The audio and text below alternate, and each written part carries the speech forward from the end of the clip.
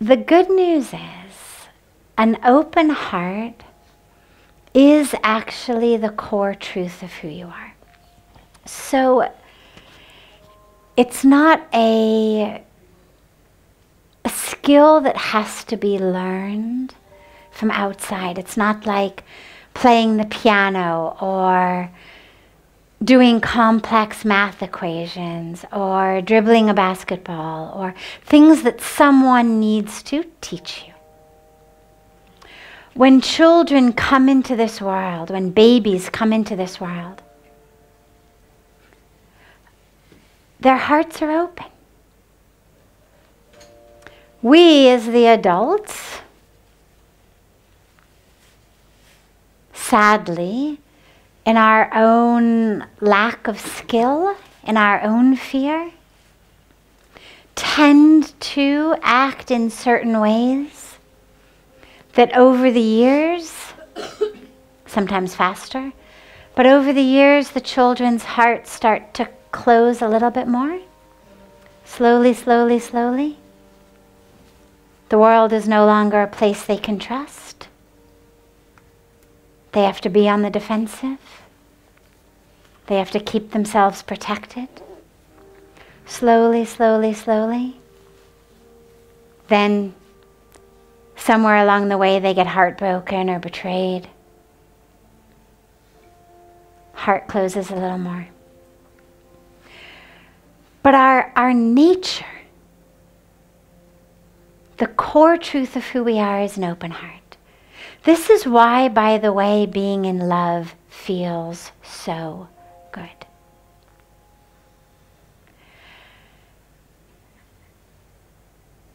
When we fall in love, romantic love, love of our parent, love of our child, love of a, a tree, an animal.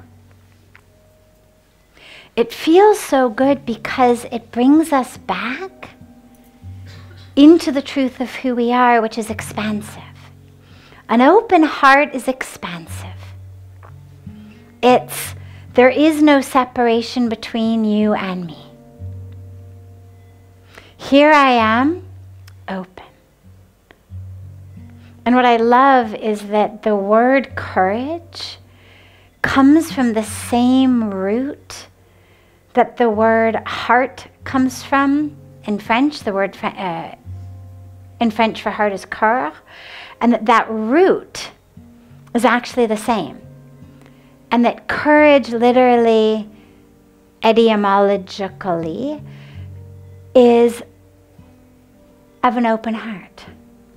And I love that because it's expansion.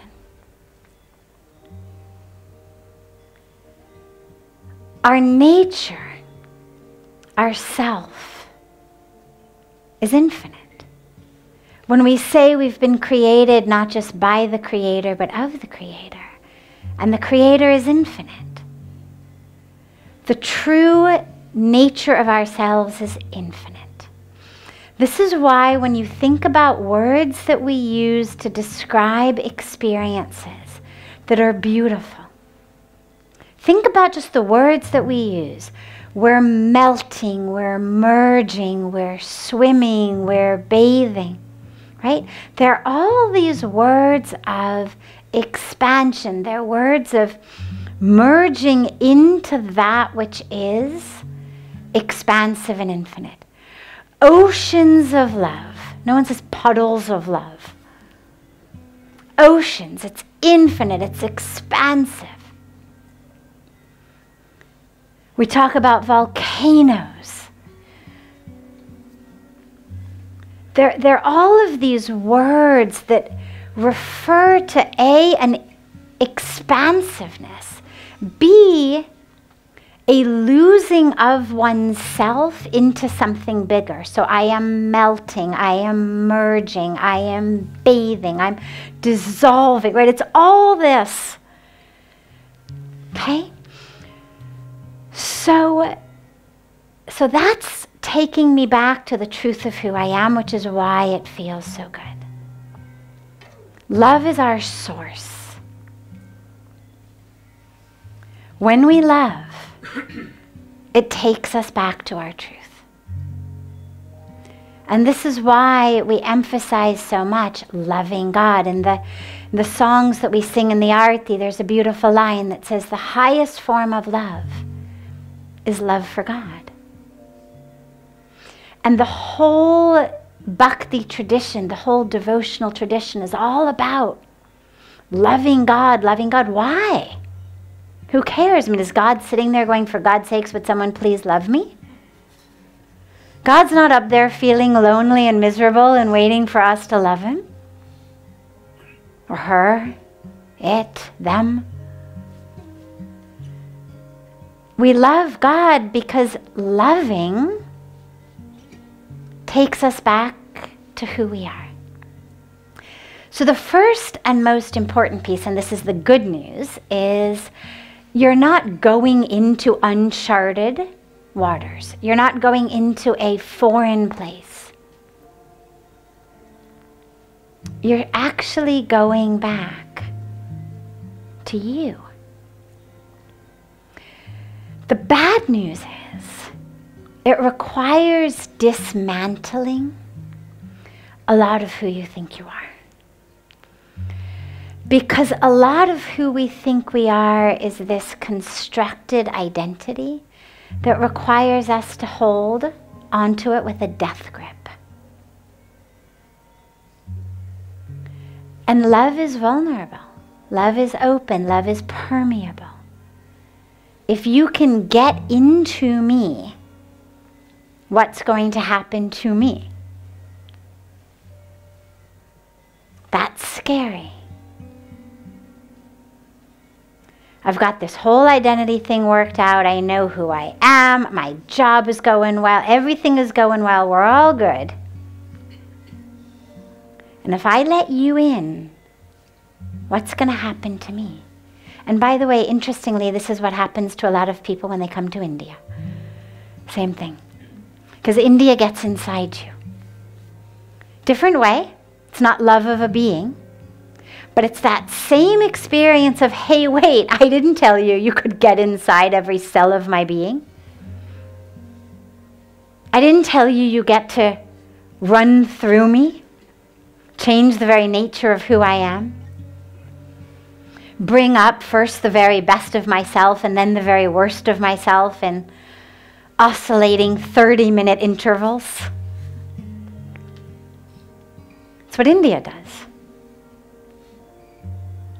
I always say that trying to keep India at an arm's length is like trying to hold up a stop sign at a tsunami. It's going to get inside. You can't stop it. And the same is with love. But from India, you can always turn around and leave if the fire gets too hot. With love, presumably, you're supposed to stay with the loved one. But this is where a lot of us create these dramas. Right? If you're really honest, like ruthlessly honest about the dramas that are there in your love relationships, so many of them we create just because the fire is getting too hot because it's just getting a little too vulnerable, a little too open. My insides are just getting a little bit too liquefied. And so, in order to really be open to love, you have to be prepared to say, This is more important to me than whatever identity I think I've created.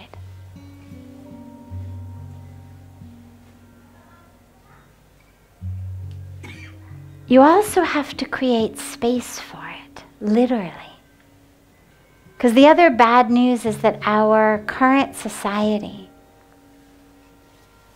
has got us all so distracted, so addicted to distraction, and love requires connection. Opening our hearts to love and opening our hearts to God are very, very similar. It's basically the same thing, just on two slightly different levels. One is to a person, the other is to God. But it's the same movement. It's the same movement of instead of identifying just as this physical being, I'm prepared to expand. I want to expand. I want to melt, to merge, to swim, to drown. Because that's more important than this death grip I've got on my identity. But it requires attention. And so the first first piece, first most important step is create space in your life for it. And the second piece is be willing. So create literal space first, actual space first. And the second piece is be willing. To let go of who you think you are. Because love is going to show you something totally different. And like India, it's going to show you the best of who you are that you never imagined possible, an expansion of yourself, a merging of yourself with the universe that you never thought possible, a giving, a compassion, a selflessness of yourself that you never thought possible. and it's going to show you the worst of yourself. Because it's going to pull up all the, you know, it's like a detox. It goes in and kind of pulls up all the stuff. That binge of fries you had 10 years ago that's sitting somewhere in your liver. Well, you do the right detox, it'll pull it out. That thing that happened in your family when you were 15 that traumatized you when you were 10, it traumatized you, and you've locked it up in a box. Well, you can be sure when you open yourself to love, love is going to knock on that box and insist that the door come off it. And so we've got to be prepared to let that happen.